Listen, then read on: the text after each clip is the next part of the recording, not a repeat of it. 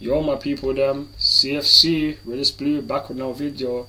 I just want to thank everyone for all the um support on the channel.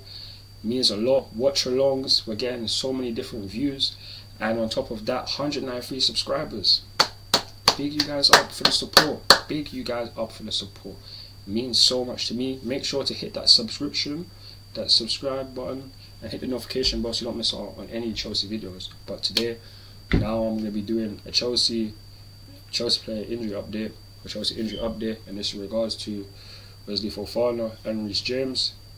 It's been said by Graham Potter that Reece James hasn't necessarily necessarily trained back to fully like to full team training. He has taken part, but he's not necessarily quite there yet. But he's not too far, and Wesley Fofana is behind him, but it's not that far off. So in my opinion, these guys should be definitely be fit by the time the 27th of December comes when we take on Bournemouth.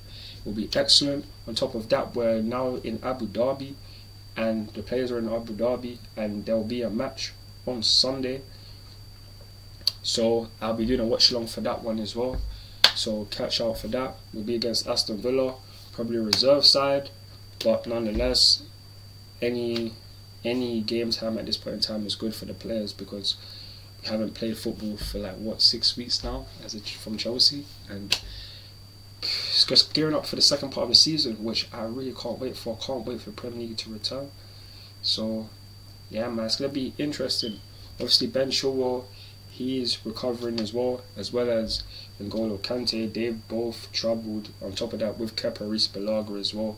They all travelled to Abu Dhabi and going to continue the rehabilitation as well but in the in the um, grand scheme of things I don't necessarily see Kante definitely won't be fit until February Ben Chilwell could be fit hopefully he's fit by Bournemouth which means he will take part in full team training within the next week and a half so yeah, man, it's gonna be interesting.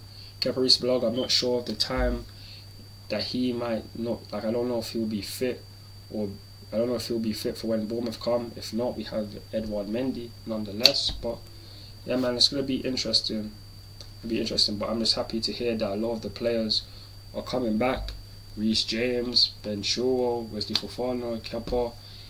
Even Carney's back in training as well. Carney Chukwuemeka, he's back in training as well. So yeah, man, it's looking good. It's looking good.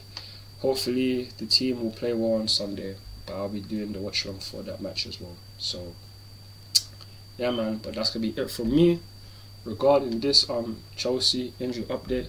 Please like, share, and subscribe to my channel. Follow me on Instagram, Twitter, TikTok, Snapchat, and Facebook for more Chelsea content.